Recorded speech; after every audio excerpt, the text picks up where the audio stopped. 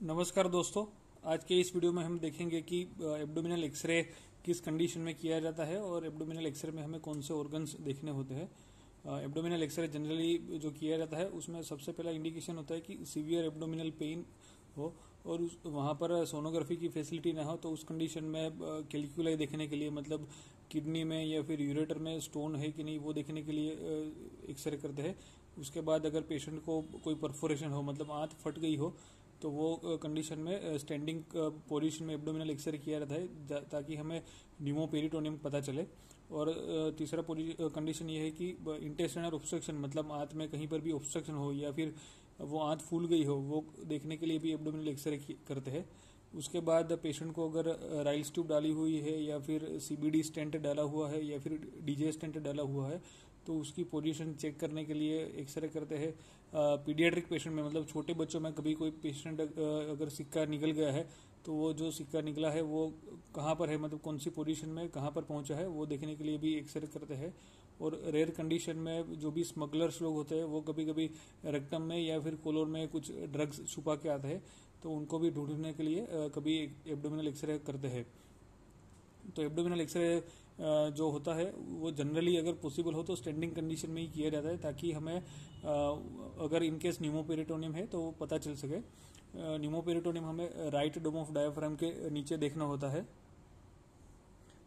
ये हमारा right dome of diaphragm है और ये हमारा लेफ़्ट डोम ऑफ़ डायाफ्राम है। लेफ़्ट डोम ऑफ़ डायाफ्राम के नीचे ये जो ब्लैक सा दिख रहा है, वो एयर बबल है, जो गेस्ट्रिक एयर बबल बोलते हैं, और वो नॉर्मली होता है। लेकिन अगर यही चीज़ हमें ऐसे थीन स्ट्रिप में मतलब ऐसी सी पतली सी लाइन हमें एयर बबल वाली या फिर ऐसी छोटी सी लाइन हमें दिखे तो उसको नीमोपेरिटोनियम बोलते हैं, और वो एक इमरजेंसी कंडीशन में है, और उस इमरजेंसी कंडीशन में पेशेंट को इमरजेंसी में ऑपरेट करना पड़ता है, क्योंकि उसका मतलब होता है कि इधर कोई छोटी आंत या फिर बड़ी आंत फट गई हो।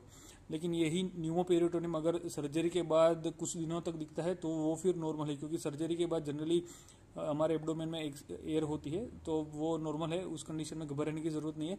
लेकिन अगर कोई सर्जरी ना की हो और फिर भी हमें राइट डोम ऑफ़ डायफ्राम के नीचे ऐसी थिन स्ट्रिप ऑफ़ एयर दिखे तो उसको न्यूमोपेरिटोनियम बोलते हैं और उस कंडीशन को मेडिकल इमरजेंसी के तौर पर ट्रीट किया जाना चाहिए।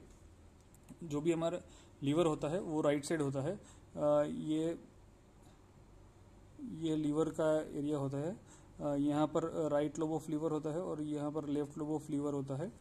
तो ये लीवर राइट साइड और मिड लाइन में होता है। यहाँ पर हमारा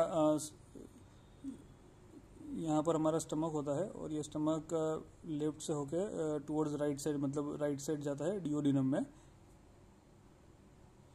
यहाँ पर जो होता है वो होता है स्प्लीन स्प्लीन एक मतलब लिम्फो टिश्यू है लिम्फो रेटिकुलर सिस्टम में आता है और वो स्प्लीन जो भी हमारे शरीर में जो भी कचरा या फिर जो भी खराब जो भी सेल्स होते हैं या फिर इन्फेक्शन के जो कोई भी मतलब या फिर ट्यूमर के भी कोई भी जो भी सेल्स होते हैं, उसको मारने के लिए वो काम आता है।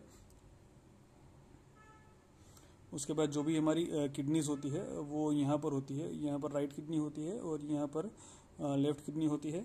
यहाँ पर यूरिनरी ब्लेडर होता है और इन दोनों को कनेक्ट करते हुए ये राइट यूरेटर होता है और ये लेफ़्ट यूरेटर होता है। तो जब भी किडनी में या फिर जनरली यूरेटर में कोई स्टोन होता है तो उसकी वजह से हाइड्रोनेफ्रोसिस होता है। जैसे जिसको हम बोलते हैं कि किडनी में सूजन आ गई है या फिर पानी भर गया है तो उसको मेडिकल कंडीशन में हाइड्रोनेफ्रोसिस बोलते हैं। और ऐसा सस्पेक्ट करते हैं कि उस उस साइड यूरेटर में या फिर किडनी में कहीं पर भी स्टोन हो सकता है। ये जो हमें दिख रही है, ये जो एयर है, ये बड़ी आंत में होती है मतलब कोलोन में होती है।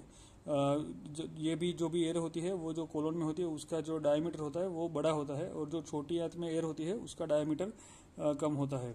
ये जो एयर हमें दिख रही है, ये जो ब्लैक स्पॉट्स दिख रहे हैं, बहुत सारे छोटे छोटे जो भी एयर फोका है, ये छोटी आंत में जो एक साथ जो पड़ी रहती है, उसके ये एयर फोका दिख रहे हैं। जो जनरली पेल्विक स्मॉल बॉयल्स होती है, उसके अंदर जो ये एयर है, वो हमें दिख रही है।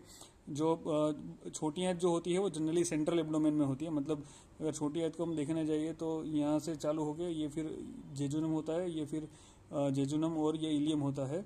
और फिर यहाँ से आके बड़ी आंत चालू होती है। बड़ी आंत जो चालू होती है यहाँ से ये सीकम होता है फिर एसेंडिंग कोलोन फिर इधर ट्रांसवर्स कोलोन इधर होता है डिसेंडिंग कोलोन फिर ये होता है सिग्मोड कोलोन और फिर यहाँ से रेक्टम तो ये जो बड़ी आंत होती है वो पेरीफरल पार्ट में होती है और छोटी आंत होती है वो सेंट्रल एब्डोमेन में होती है। जनरली कभी भी आ, हमें जो भी एब्डोमिनल एक्सरे देखते हैं उसमें कोई मेजर एयर फ्लूड नहीं होता है। एयर फ्लूड का मतलब होता है कि ये जो हमें दिखता है इसको एक एयर फ्लूड लेवल बोलते हैं। मतलब ऊपर एयर है और नीचे फ्लूड है। जो फ्लूड है, वो स्टमक में है। तो उसका मतलब ये है कि ये जो स्टमक में जो भी हम इधर फ़ूड लेते हैं वो इधर सॉलिड हो या लिक्विड हो और उसके ऊपर ये छोटा सा एयर का बबल दिखता है तो ये नॉर्मल है। लेकिन अगर ऐसे ही एयर फ्लूड लेवल हमें पूरे एब्डोमेन में ज़्यादा दिखने लगे तो उसका मतलब ये है कि हमारे शरीर में कोई इंटेस्टाइनल ऑब्स्ट्रक्शन है। मतलब कहीं पर भी आंत में हमें ऑब्स्ट्रक्शन के चिंदी है। जो भी हम खाना खा रहे हैं, वो आगे पास नहीं हो पा रहा है। एब्डोमिनल एक्सर में जो भी बोन्स दिखते हैं, वो जनरली लंबर वर्टिब्रा होती है। ये जो है, ये लंबर वर्टिब्रा होती है। लंबर वर्टिब्रा टोटल पाँच नंबर में होती है। और हमें लोअर रिब्स मिड और लोअर रिब्स दिखते हैं। फिर ये बायोलेटरल पेल्विक बोन होते हैं। ये राइट पेल्विक बोन है, ये लेफ़्ट पेल्विक बोन है। और इन दोनों को और लंबर वर्टिब्रा को कनेक्ट करते हुए बीच में जो होता है, वो होता है सेक्रम ये सेक्रम का पार्ट है, जिसको हम टेल बोन भी बोलते हैं। तो यहाँ पर सेक्रम होता है। और ये जो दोनों बोन है ये फीमर है, ये राइट फीमर है और ये लेफ़्ट फीमर है। तो इस तरह से एब्डोमिनल एक्सरे अभी सीटी स्कैन की वजह से इसका जो इंडिकेशन है या यूज़ है वो धीरे धीरे कम होता जा रहा है लेकिन फिर भी इमरजेंसी कंडीशन में या फिर हमें कुछ फटाफट देखने के लिए न्यूमोपेरिटोनियम है या नहीं या फिर या फिर बड़े स्टोन अगर हम सस्पेक्ट कर रहे हो या फिर स्टेंट की पोजीशन चेक करने के लिए अभी भी एब्डोमिनल एक्सरे किया जाता है या फिर पोस्ट ऑपरेटिव कंडीशन में भी आ, कोई इंटेस्टाइनल ऑब्स्ट्रक्शन के चेंजेस नहीं है वो देखने के लिए भी एब्डोमिनल एक्सरे किया जाता है। आ, मैं आशा रखता हूँ कि ये वीडियो आपको हेल्पफुल और इन्फॉर्मेटिव रहा होगा। Thank you